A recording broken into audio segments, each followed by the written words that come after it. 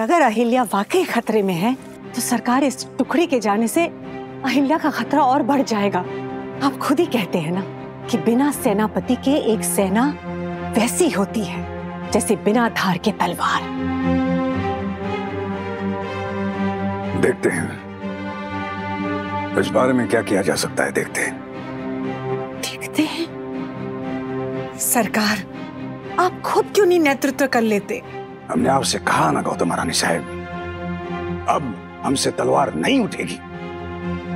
आप क्यों बार बार वही जख्म कुरेद कर हमें तकलीफ़ देना चाहती हैं? तकलीफ़ में अहिल्या है, सरकार। हमारी अहिल्या है। अगर किसी अपने को आप विपदा में देखेंगे तो क्या फिर भी अपनी तलवार नहीं उठाएँगे? सरकार, अहिल्या आज मुसीबत में है। वो आपके भरोसे इतनी बड़ी सेना को लेकर जंग लड़ने गई है। आज उसकी और तुको जी की खबर नहीं है। और फिर भी आप अपनी प्रतिज्ञा और अपने हट के बारे में सोच रहे हैं?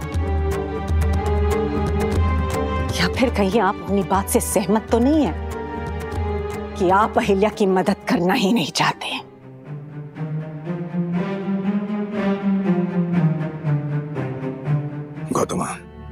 आप जितने भी सवाल कर लें कितने भी तर्क वितर्क लगा लें हमारा फैसला नहीं बदलेगा। ये कैसी बातें कर रहे हैं सरकार? ये सब बातें सुनकर क्या आपका खून नहीं खोल रहा है? हाँ खून खोलेगा तो कब तक खोलेगा रानी साहब? कब तक ये राज्य हमारे भरोसे हमारे सारे चलेगा? आज हम है कल नहीं होंगे उसके बाद क्या करेंगे आप? क्या करेगी अहिल्या? क्या करेगा ये मालवा राज्य बताइए। इसे अपनी रक्षा अपना विकास का ज़रिया ढूंढना ही होगा।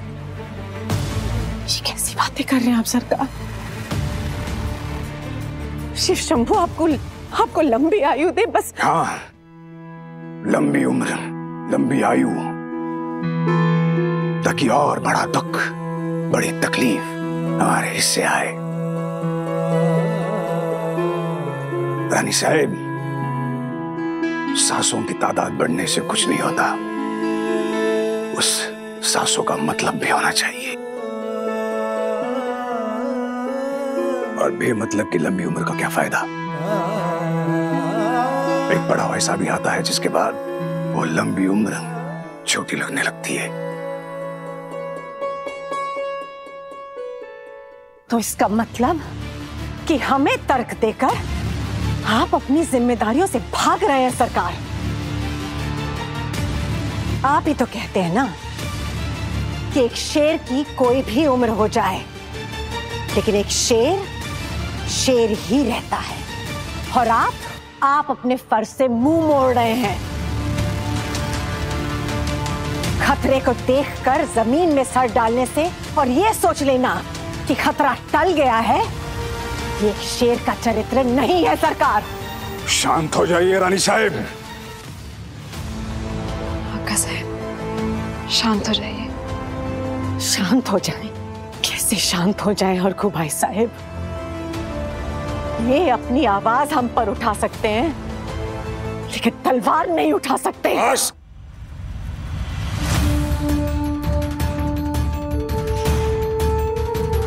बस रानी साहेब।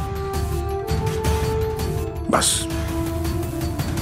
हमने कई वर्षों तक तलवार उठाकर अपनी जिम्मेदारियाँ ईमानदारी से निभाई हैं, निष्ठापूर्वक निभाई है, जिस ईमानदारी और निष्ठा पर कोई उंगली नहीं उठा सकता, आप भी नहीं। और हम किसी दबाव में नहीं, स्वेच्छा से अपनी जिम्मेदारियों से मुक्त हो रहे हैं। इसके बाद अब आगे कोई चर्चा नहीं होगी। समझ रही हैं आप?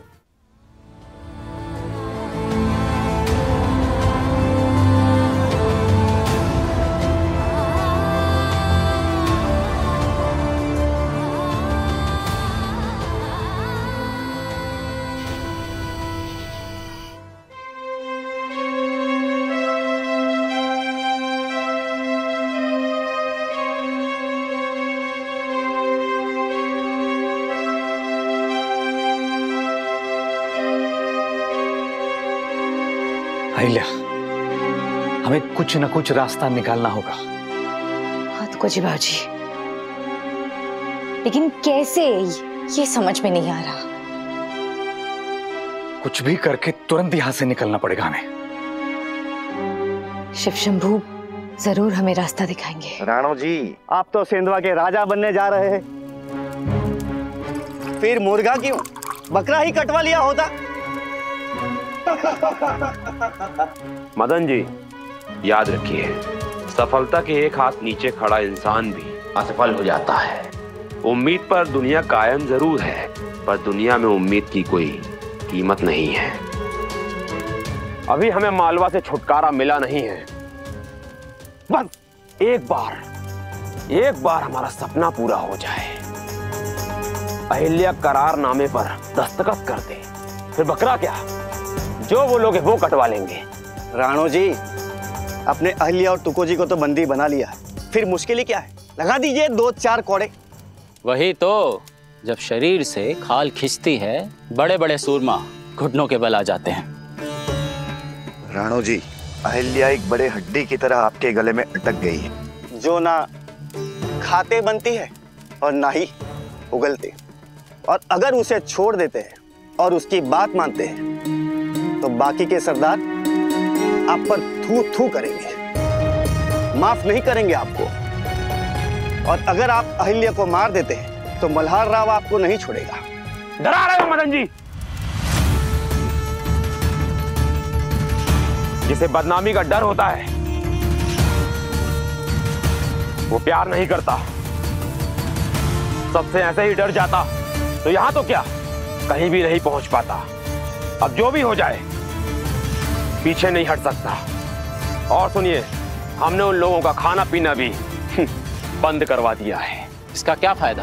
भूखी प्यासी अहिल्या को कब तक रखोगे यहाँ? रानो जी, अब तक तो मल्हार राव अपनी सेना लेके निकल गया होगा। इस परिस्थिति में एक परिस्थिति और भी बनती है, मध्य परिस्थिति। बीच का रास्ता, अगर आप अहल्या को ज़्यादा गुस्सा नहीं दिलाएँगे, उसके साथ नम्रता पूर्वक व्यवहार करेंगे, उसके साथ अपनापन दिखाएँगे। हो सकता है कि अहिल्या आपकी बात मान जाए, मगर ईश्वर ना करे। मल्हार राव, आप पर सेना के साथ आक्रमण करे तो आपका व्यवहार अहिल्या के प्रति आपके पक्ष में होगा। सोचिए। नहीं, मैं आपकी बात से सहमत नहीं। यदि हमें अपना राज्य पाना है तो डर किस बात का। आज नहीं तो कल। मल्हार राव से सामना तो होगा। हम सब मुकाबले के लिए तैयार हैं। और तैयार होना भी चाहिए। राणो जी मौका अच्छा है। और नीति भी यही कहती है। जाइए। इसी तलवार से आज यही काट दीजिए अहल्या और तुको जी को। ये लीजिए तलवार। इसे खून से धन्य बनाइए।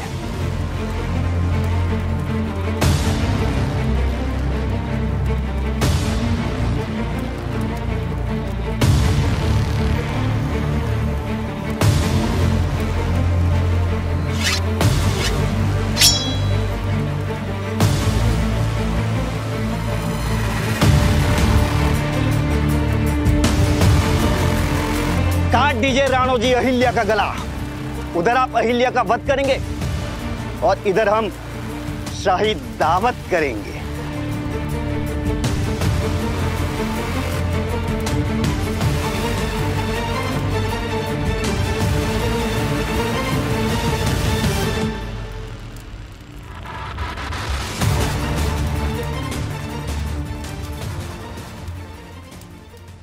तुम सही थी अहिल्या। ये राणू जी योद्धा नहीं, पागी है, पागी केवल बागी। ये हमें तीर और तलवार से तो कभी मार नहीं पाएगा। लेकिन भूखा रख के मारने की घटिया कोशिश तो ज़रूर करेगा।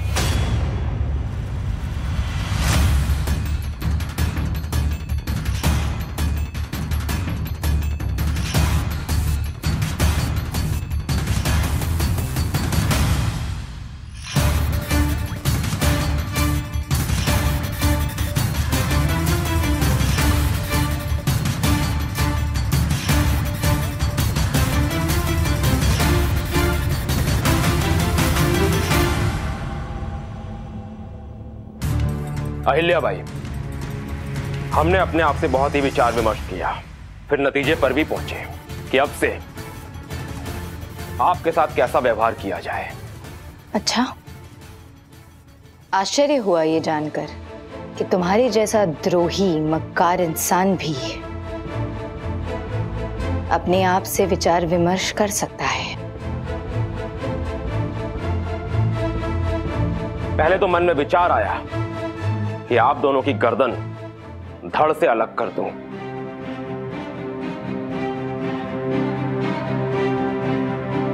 फिर हमने सोचा कि मालवा से हमारे रिश्ते कभी खून खराबे वाले नहीं रहे।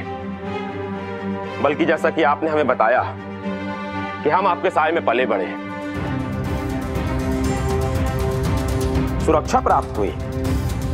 मल्हार सरकार का आशीर्वाद प्राप्त हुआ। उन रिश्तों के हवाले से हम इस नतीजे पर पहुँचे हैं कि आप लोगों के साथ हम वही व्यवहार करेंगे जो एक राजघराने के मेहमान के साथ किया जाता है।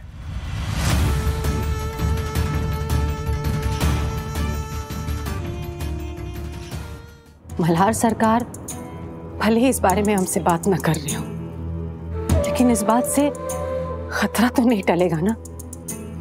यूँ ऐसे हाथ पे हाथ धरे तो नहीं बैठे रह सकते।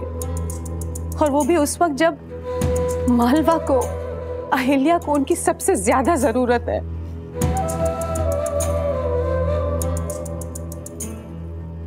अक्का साहब आप कहे तो मैं बात करके देख लूँ। नहीं बात करने से कुछ नहीं होगा द्वारका भाई साहब।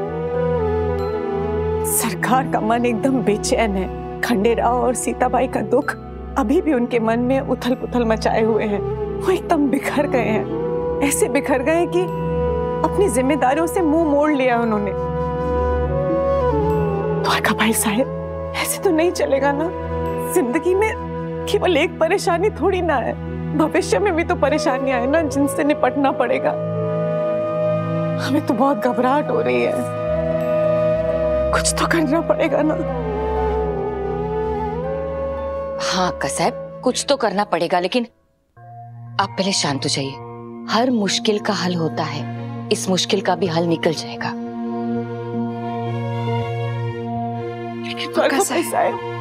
अहिल्या अगर अहिल्या वाकई किसी मुसीबत में पड़ गई ना तो हम अपने आप को कभी माफ़ नहीं कर पाएँगे द्वारका भाई साहेब। शांत हो जाइए। आइए बैठिए। बैठिए। बैठिए। बैठिए। पानी पी लीजिए।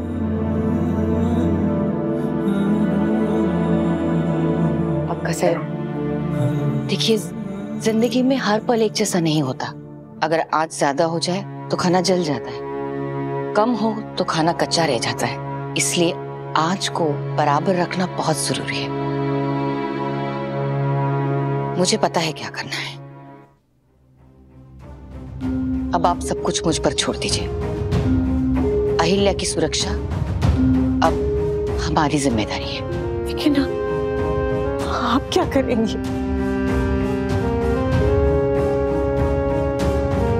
प्रायश्चित। जाने अनजाने में मुझसे जो कुछ भी गलती हुई है, यही ठीक समय है प्रायश्चित करने का। मैं कुछ भी करके मल्हार सरकार को तलवार उठाने के लिए विवश कर दूँगी। बस मुझे आप दोनों का साथ चाहिए।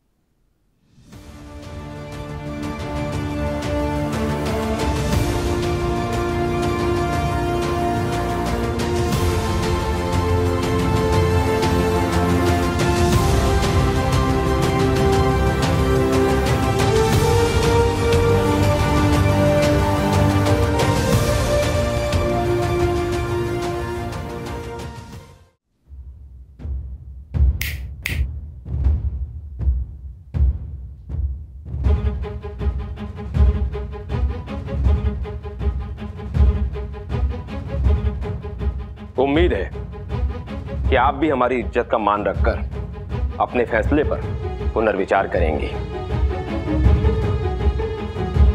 हमारी मेहमान नवाजी, स्वीकार कीजिए।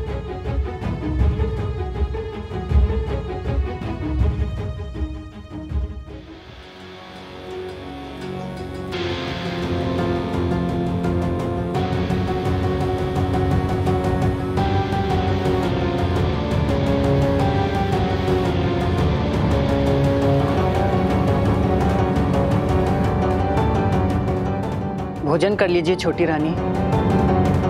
देखिए आपके खाने के लिए यहाँ बहुत कुछ है। और चाहिए तो बता दीजिएगा आ जाएगा। रुकिए। ये सब कोई इतना बेरहम कैसे हो सकता है? अब ठीक तो है ना?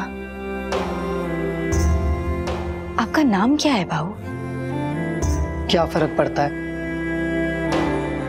आप मुझे सिपाही बुला सकती हैं। नहीं हमारी सेना में हर एक सिपाही का नाम है उसकी पहचान है। उसी तरह आपका भी एक नाम होगा।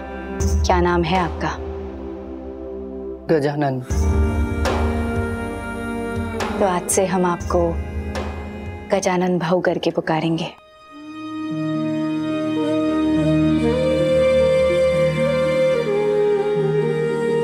ठीक है? इतने सपने मत दिखाइए छोटी रानी जो कभी पूरे नहीं हो सकते। ऐसे मत कहिए उठिए। देखिए मालवा में हर छोटे बड़े इंसान को सपने देखने का अधिकार है और आज़ादी भी है। और हम यानी मालवा की सरकार, मालवा के हर एक इंसान के सपने पूरे करने के लिए वचनबद्ध है। तो अब आप बताइए, ये राणो जी की सरदारी सही है या मल्हार सरकार का राज?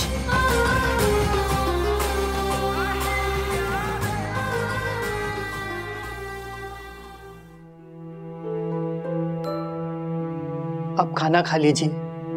और कुछ लगे तो माला को बता दीजिएगा। ये मेरी पत्नी है। अच्छा आपकी पत्नी तो बहुत सुंदर है।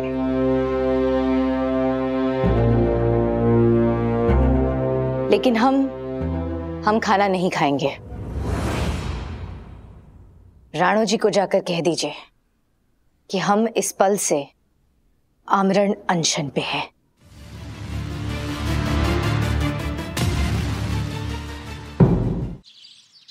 हर हर महादेव हर हर महादेव हर हर महादेव हर हर महादेव हर हर हर हर हर हर हर हर। चल मेरे घोड़े बाय मुड़ो। हाँ हाँ हाँ बाय मुड़ो। चल मेरे घोड़े और देश और देश चल मेरे घोड़े। और देश और देश।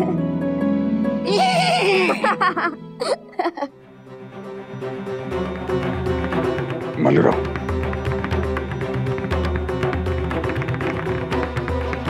क्या हुआ? सरकार फौज कूच करने के लिए तैयार है। इतनी देर क्यों लग गई? सुबह हो चुकी है। चलिए कोई बात नहीं। जल्द से जल्द शुभ समाचार लेकर लौटिए।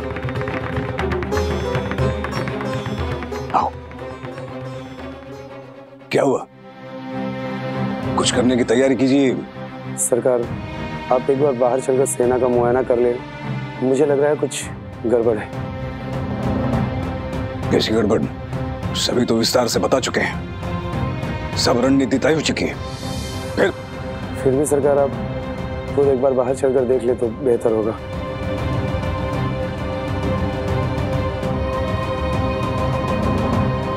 चलिए।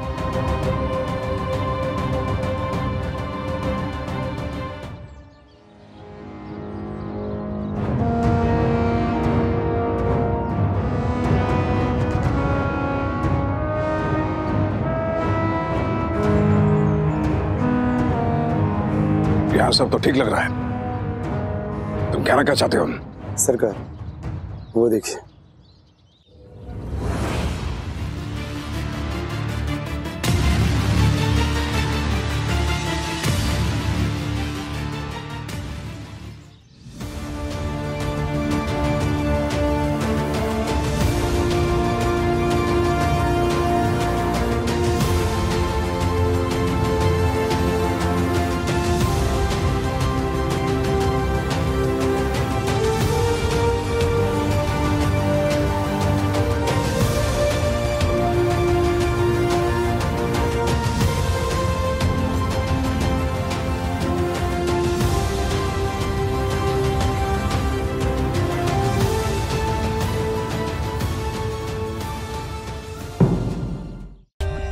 For more updates, subscribe to our channel, click the show links and enjoy watching the videos.